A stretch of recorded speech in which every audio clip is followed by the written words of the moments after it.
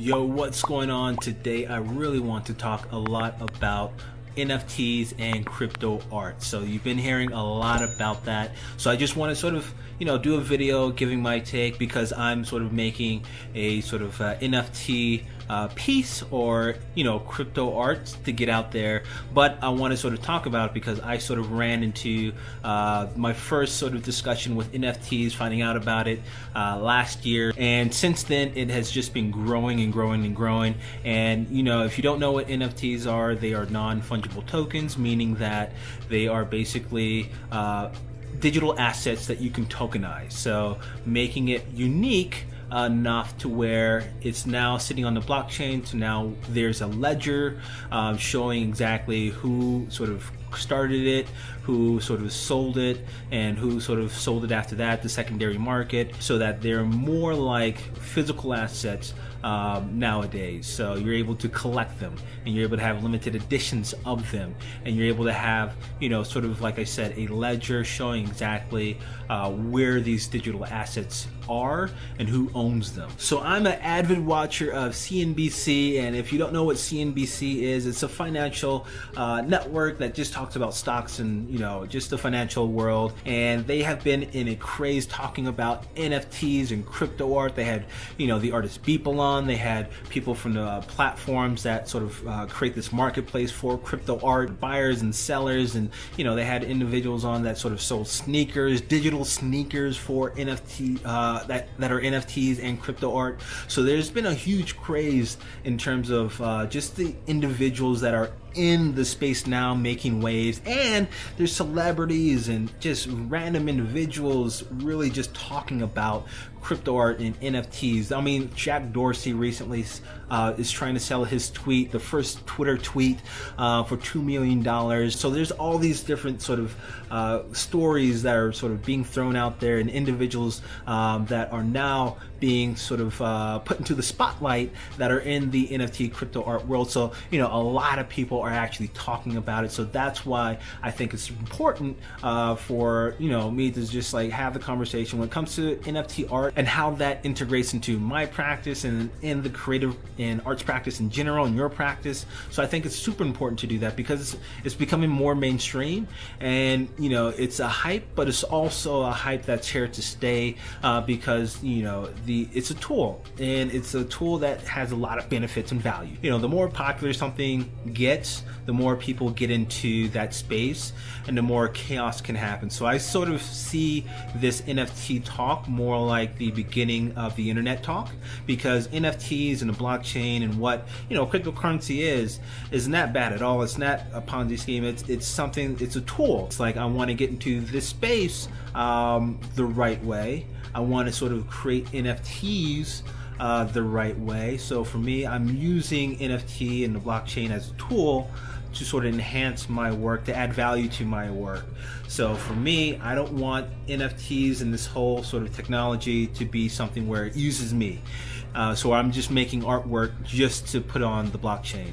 I don't want to do that. I want to sort of make make work um, where the blockchain and NFTs and the idea of tokenizing something can add value to whatever I'm making. And I want it to be natural. So that's what I'm doing. And I'll have sort of an, a whole playlist of my ventures into NFTs and everything. So I'll make sure I have that up so I can show exactly what I'm doing and be more transparent. So that is something that I'm, I'm, I'm going to work on.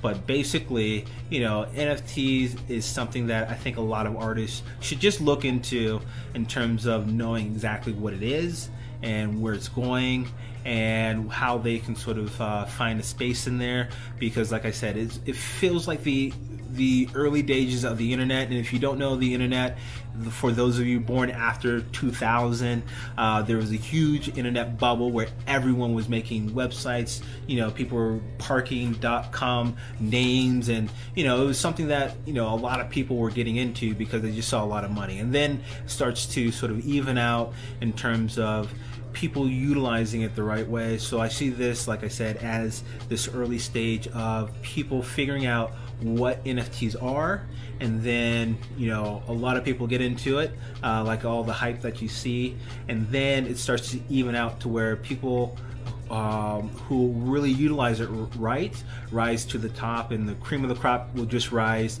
and the quality will get better because there's a lot of just like junk out there right now, and people throwing out junk because people don't really know exactly how to use it because it's an open open source sort of uh, system and technology to where you can do anything with it. So it has to sort of form the form over time. So that's what's going to happen uh, with NFTs and blockchain when it comes to you know artists in that space and creators in that space. So you know there's been stories of individuals that have had you know sneaker collections that are actual digital sneakers, but they're going to turn into uh, physical assets. Uh, but they sold a ton of digital sneakers on on the blockchain. I know you heard of the artist Beeple.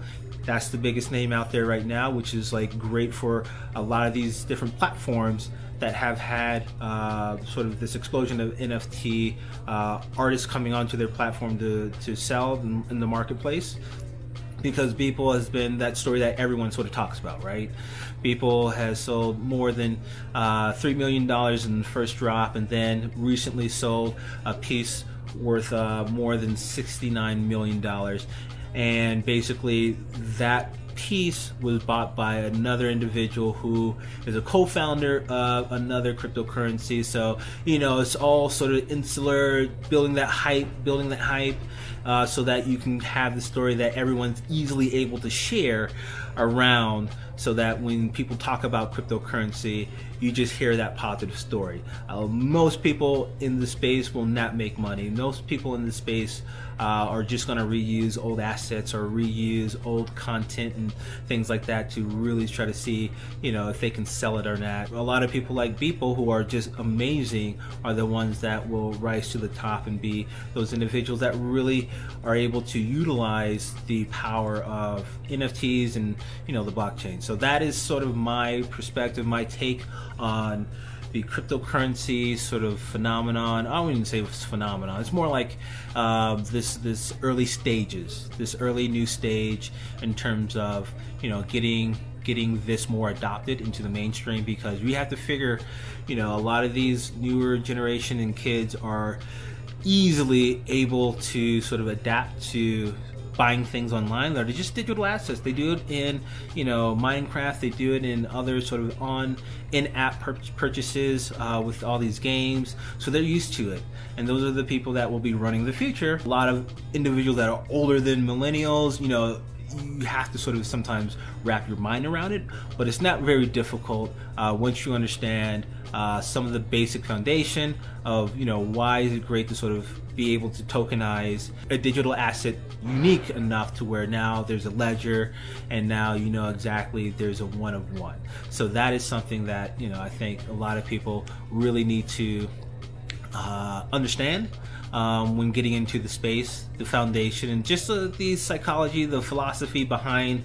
you know, why NFTs exist because it is a useful tool uh, to bring into your studio or creative practice and figure out how you can sort of utilize that space when everything is going more digital uh, to sort of get your work out there and to get into new spaces. So I want to make sure I sort of do a short video talking about that and let you guys know that I'm making a playlist that will sort of go through my venture into making a NFT art, uh, a collectible, uh, so that you're able to understand exactly everything that goes into it. Um, because I'm learning as you guys are learning as well. So this space is so new that even the people that created it, you know, they're just finding out exactly what other people want to do with that technology. So you know everyone it's it's an open door. It's basically wide open. It's the wild wild west and we're going to figure it out together. So hopefully you'll follow me along that journey and i will see you next time. Peace